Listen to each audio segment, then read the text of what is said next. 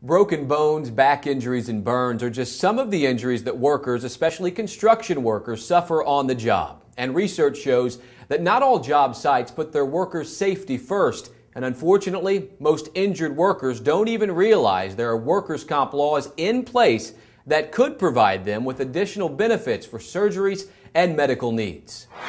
Hard hats and work boots aren't always enough to keep people safe on job sites. In fact, in 2006 in the U.S., more than 5,700 workers were killed and hundreds of thousands more injured while on the job.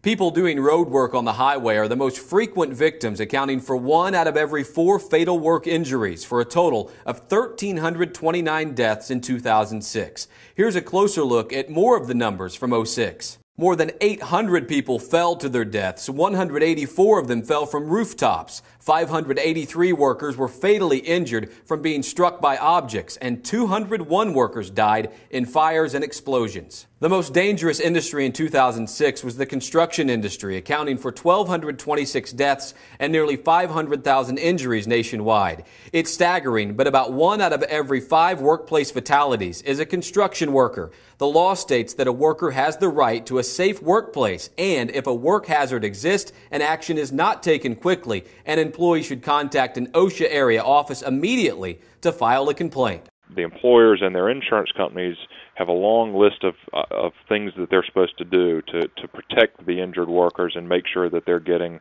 the type of medical care and attention that they receive. It's extremely important to make the job site as hazard free as possible because even though workers' compensation benefits are designed to provide workers with financial support for medical bills and a portion of lost wages following an on job injury, it's oftentimes difficult to get the compensation you deserve.